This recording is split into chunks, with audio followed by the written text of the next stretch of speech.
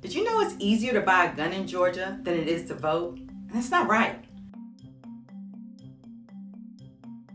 In Georgia, you can buy a gun in one day. And if the background check to determine whether you're a felon or not takes too long, you get the benefit of the doubt. If getting a gun were as difficult as voting, you'd have to register to purchase a gun 11 weeks in advance. And you would be limited to a short list of acceptable pieces of identification.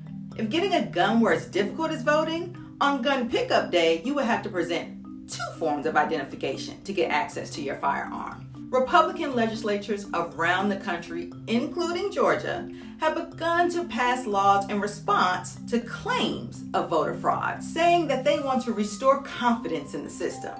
The Washington Post says that between 2020 and 2021, there were more than 250 voting bills proposed in 43 states, despite no widespread evidence of wrongdoing. There are opponents who say that the real purpose of the voting laws is to make it more difficult for black and brown people to vote.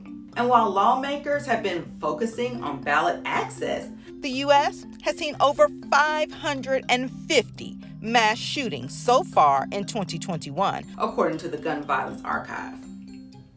Yet, Congress still has not passed a federal law to protect Americans from gun violence. President Biden said it himself he said they've offered plenty of thoughts and prayers, those members of Congress, but they've not passed a single new federal law to reduce gun violence. Enough prayers. It's time for action.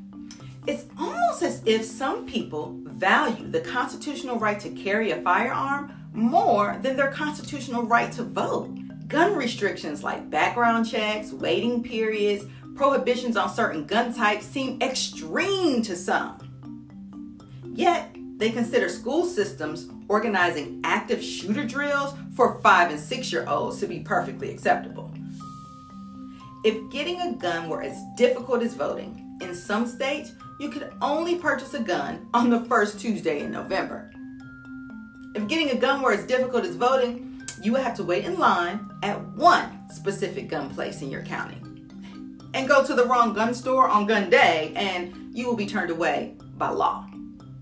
If getting a gun were as difficult as voting, if there were a delay at your gun store during the previous gun buying period, the Secretary of State could move your gun location just weeks before your gun purchase date. If buying a gun were as difficult as voting, Georgia would be a safer place, but it's not.